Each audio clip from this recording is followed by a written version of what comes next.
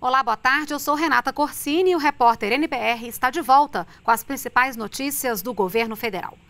Tomou posse agora há pouco o novo ministro da Defesa, Raul Jungmann. Ele disse em seu discurso que as políticas de defesa nacional são uma questão de patriotismo e que estão acima das disputas políticas partidárias. O novo ministro da Defesa se comprometeu com a busca de recursos e valorização do pessoal das Forças Armadas.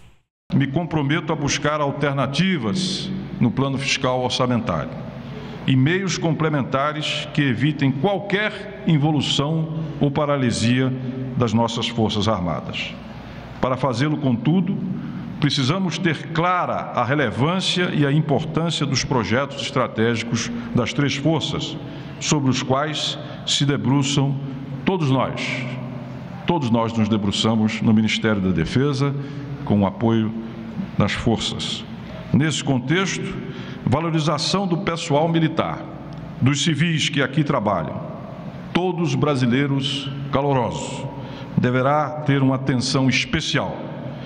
Qualificar nosso pessoal, em especial o combatente, como um técnico de alta performance e, ao mesmo tempo, um soldado cidadão que carrega nos ombros o legado da nação é uma tarefa urgente, já em curso em várias escolas, mas que teremos de aprofundar, abandonando concepções ultrapassadas, nicho de rotina ou mesmo heranças que o mundo já se desligou. Hoje pela manhã, o ministro do Meio Ambiente, Sarney Filho, sobrevoou áreas atingidas pelo rompimento da barragem de Fundão em Mariana, Minas Gerais. O desastre ambiental foi em novembro do ano passado. A lama com rejeitos de mineração matou 19 pessoas e deixou mais de 1.600 desalojados ou desabrigados. Até a semana passada, Sarney Filho coordenou a comissão externa da Câmara dos Deputados, criada para acompanhar as ações depois da tragédia. Ele apresentou o relatório final da comissão.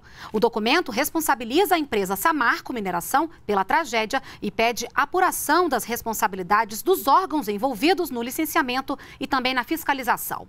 O relatório também sugere alterações no novo Código de Mineração que está em análise na Câmara. E já estão valendo as novas regras da Agência Nacional de Saúde Suplementar, ANS, que estabelecem prazos para a prestação de informações ao consumidor e obrigam as operadoras a oferecer canais de contato presencial e telefônico. A ideia é incentivar as empresas a resolverem demandas com mais agilidade. A partir de agora, as empresas de grande porte também devem oferecer atendimento telefônico 24 horas, 7 dias por semana. A balança comercial brasileira registrou superávit de mais de 1 bilhão e 700 milhões de dólares na segunda semana de maio.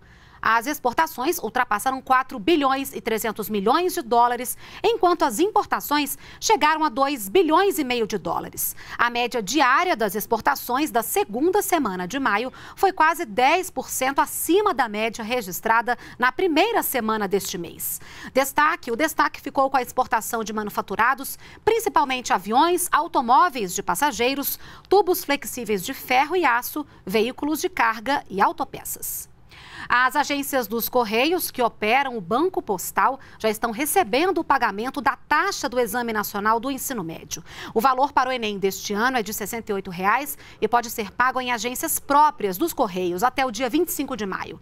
As inscrições para o Enem podem ser feitas até o dia 20 de maio no portal do INEP. E nós ficamos por aqui, voltamos com outras informações às 18 horas. Acompanhe também as novidades do governo federal nas nossas redes sociais. Você continue com a gente aqui na NBR, a TV do Governo Federal.